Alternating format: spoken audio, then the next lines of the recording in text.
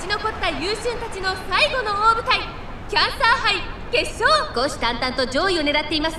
3番人気はここまで無敗2大スプリント覇者。カレンちゃん。2番人気を紹介しましょう。ここまで無敗2冠馬娘。2番スマートファルコン。威風堂々とスタートを待つのはこの馬娘。二冠馬娘目白ライアン。一番人気です。気合十分いい顔してますね。各馬娘ゲートに入って体勢整いました。今スタートが切られました。各馬娘揃って綺麗なスタートを切りました。これは位置取りが熾烈になりそうですね。先行争いは桜爆心王4番星雲スカイ9番星雲スカイ。注目の目白ライアン少し後方に位置取りましたね。この位置なら周囲の様子を伺えます。冷静にレースを進めてますね。さあ激しい先行争いで前に出たのは4番星雲スカイ目白ライアン。落ち着かない様子。スタミナを切らさないか心配です。4番星雲スカイ快調に飛ばしていきます。先頭をかけます。4番星雲スカイ続いて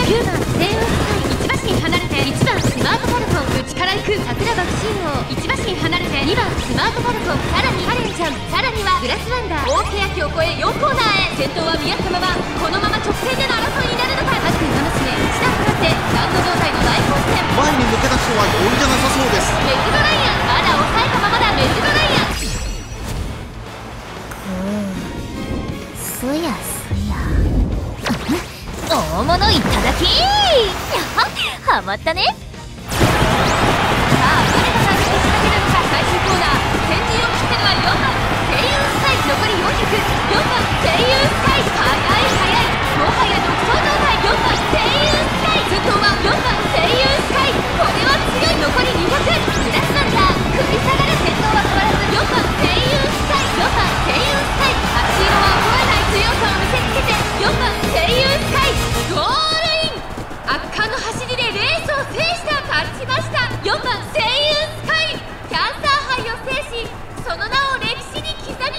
2着にはグラスワンダー。3着はウォッカ。